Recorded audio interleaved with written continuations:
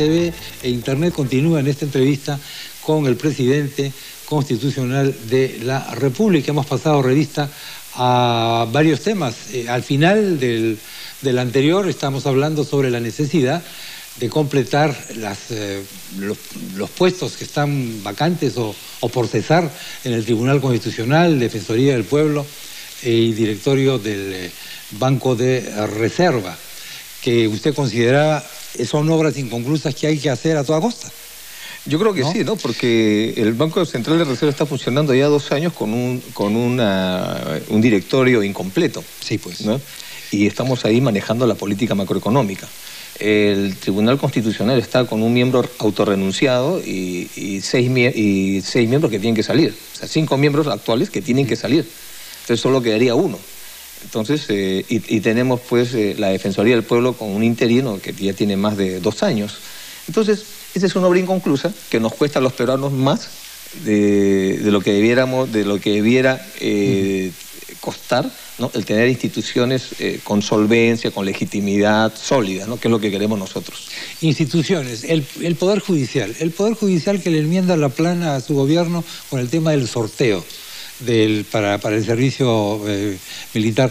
¿Le, ¿Le, decepciona eso un poco? ¿Le parece que es muy difícil hacer una reforma con un poder judicial que es una espada de Damocles siempre encima? no, porque yo creo en la, independencia de los poderes y creo que es mejor el modelo peruano de independencia de, poderes que un modelo eh, en el cual todos los poderes estén sometidos al Ejecutivo. Eso es lo que hemos vivido en la década de los 90. Y lo que estamos haciendo hoy día es construir un nuevo Estado ¿no? en democracia, respetando el Estado de Derecho, respetando la independencia de poderes y no como se intentó hacer en los 90, cerrando el Congreso de la República, tomando el Poder Judicial, tomando por asalto el Ministerio Público, todas las instituciones, hasta la Fuerza Armada y Policía Nacional del Perú. Yo creo que así no funciona. Mi visión de país es una visión de largo plazo, en el cual podamos consolidar las instituciones, mejorar y capacitar a nuestros jueces, a nuestros magistrados, para que cada día sus fallos sean no solamente justos, sino oportunos, porque la justicia que tarda, al final no es justicia. Y además, en el tema del servicio militar, nosotros creemos que todavía hay una segunda instancia y, a, través de los instrumentos que nos da la democracia, eh, defenderemos la, la reforma en el sector militar y que sea lo mejor para el país. Eso es lo que todos queremos. Lo importante es que estoy seguro, estoy convencido que tanto el Poder Judicial como el Ejecutivo y el Legislativo quieren lo mejor para el Perú. Quieren lo mejor para el Perú. ¿Cómo ven las regiones, los gobiernos regionales? ¿Están bien hechos? ¿Están gastando lo que deben gastar con toda la plata que tienen? Lo que yo veo es que tenemos un grupo de, un conjunto de regiones que tienen canon y otro conjunto de regiones que no lo tienen. En el tema de las regiones que tienen canon, ellos tienen un problema de ejecutar su canon eh, por una serie de normas legales y también porque los mismos gobiernos regionales en muchos casos adolecen de una tecnocracia capaz de eh, gestionar y ejecutar proyectos y hacer proyectos. En muchos casos eh, vemos que su misma tecnocracia o burocracia no les ayuda y terminan el año eh, con plata en el Banco de la Nación. Entonces lo que nosotros estamos viendo es conversando con ellos para ver cómo mejoramos la normatividad para ejecutar el canon y probablemente plantear una ley que permita una mejor redistribución del canon. Eh, tienes el caso, por ejemplo, de Echarate, ¿no? un distrito de los grandes de la convención en el Cusco, que es el distrito que la tiene, cuna del gas. tiene más plata que, que provincias. Pues. Y si tú ves, en, esa, en ese distrito tienes una zona rural, que es la zona de Miaría, comunidades eh, que están en la extrema pobreza, que estamos atendiendo directamente nosotros, cuando en la capital de Charate tienes eh, piscinas con jacuzzi, al aire libre, etcétera. Entonces, esto no, no, digo que sea esta gestión, pero es la, lo que ha venido desarrollándose en regiones que tienen mucho canon y otras que no lo tienen, están eh, con una mano delante y otra atrás. Yo creo que hoy día lo que necesitamos es eh, generar mecanismos de fiscalización para que las regiones eh, puedan pues no solamente ejercer el derecho de, sus competencias, sino también tengan responsabilidades de rendición de cuentas ante el gobierno central. Estamos fracasando en el control de la minería informal, por emplear un eufemismo que puede llegar a ser minería criminal, por ejemplo, en Madre de Dios. A ver, nosotros eh, a finales del 2011 hicimos eh, una reforma de lo que es la microminería. En la microminería tenemos la minería eh, artesanal, la minería ilegal, y hemos combatido en diferentes zonas del país, particularmente Madre de Dios, a la microminería ilegal, haciendo respetar la zona de exclusión minera. Pero, obviamente, volvemos al tema de las normas de descentralización, la, entrega de diferentes eh, autorizaciones para la microminería no lo da el gobierno central, lo dan los gobiernos regionales. Entonces, es una batalla en la cual, si no eh, logramos que el gobierno regional se sume, pues estamos, eh, digamos, cojos en esta batalla. Y este es un problema que ya tiene más de 40 años en el Perú. Eh, por lo tanto, no es solamente un problema de orden económico, es un problema de orden social, es un problema de orden de seguridad también, porque detrás de la microminería ilegal vienen eh, una serie de, ilícitos, como es la, eh, el abuso sexual abuso infantil, menores, trata de personas, trata de personas, homicidios, sicariatos, apropiación ilícita de terrenos, tráfico de insumos químicos, etcétera.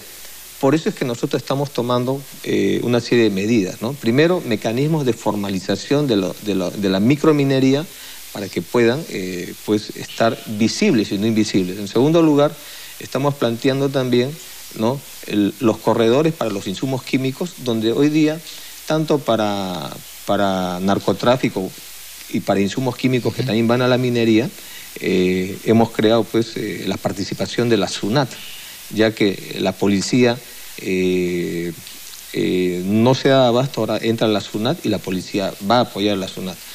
Y estamos creando también responsabilidades para los gobiernos regionales para que nos ayuden a preservar nuestro medio ambiente y nos ayuden pues, a poner coto a este, tema de microminería.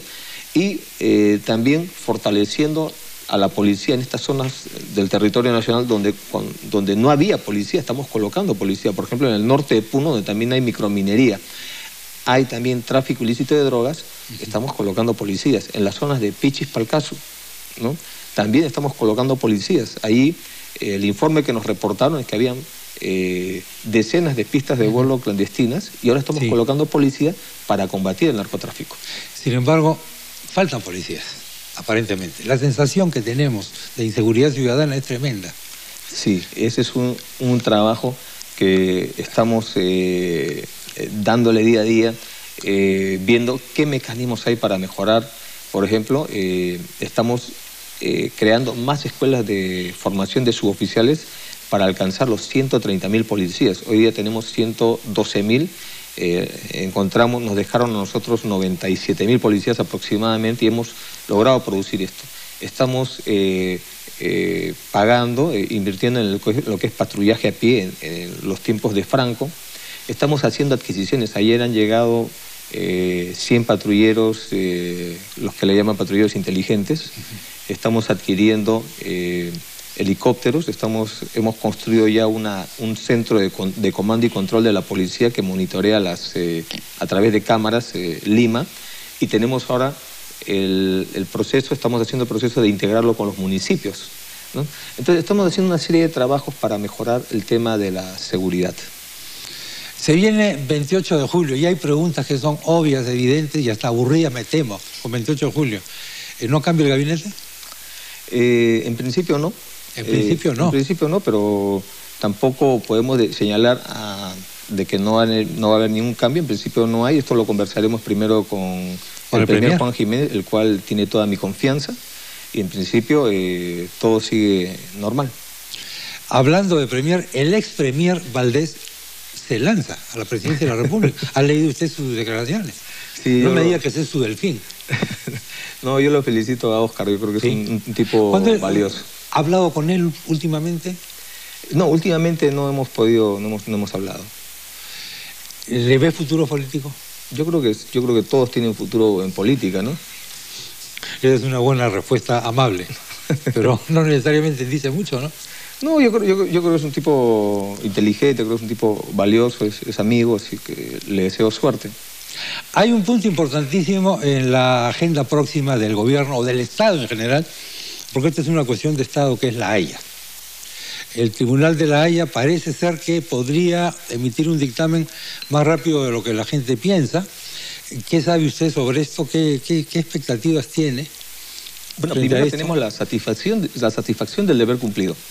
Hemos hecho un buen trabajo, hemos, eh, desde un inicio, cuando hubo resistencias de algunos gobiernos para no entrar a la Haya, acuérdese esa época de la marcha TAGN, etcétera, cuando todavía no éramos gobierno nosotros, eh, como nacionalista, eh, como peruano, hemos tenido un comportamiento y una actitud coherente de que el Perú tenía que entrar a la Haya, aún en oposición a, los gobiernos de turno que decían que no debíamos entrar al tema de la Haya y que las relaciones Perú, peruano-chilenas debían mantenerse por cuerdas separadas.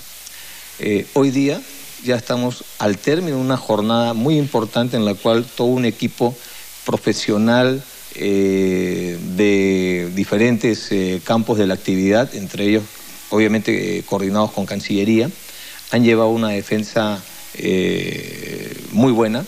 Hemos consolidado ese equipo y creo que hoy día eh, espero que la, tengo la confianza de que en la sentencia pesarán los argumentos que, peruanos que han sido sólidos y esperamos un fallo en el cual pues eh, colmen nuestras expectativas.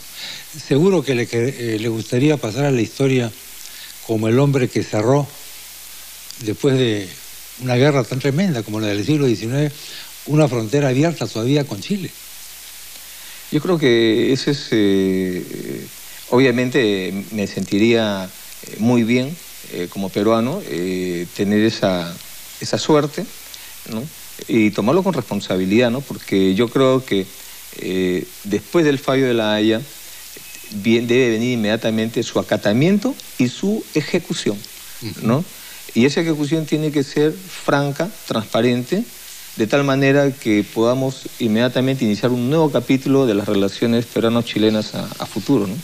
Presidente, una nueva y última, esta vez, pausa. Eh, RPP en sus tres plataformas va a continuar con el presidente constitucional de la República después de estos rápidos mensajes. Volvemos.